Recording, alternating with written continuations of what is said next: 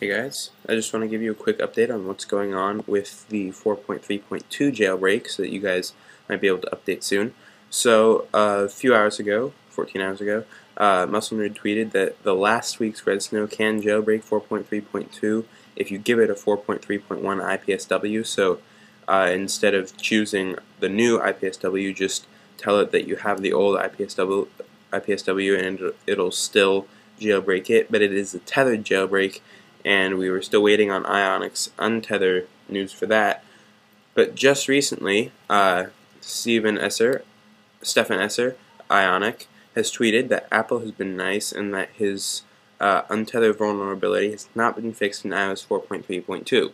Now, he has also said he will have to uh, rebuild the specific binaries for each device because they have uh, different kernel offsets. I'm not exactly sure what that means, but it does mean that he uh, we should be seeing the untethered jailbreak for 4.3.2 soon.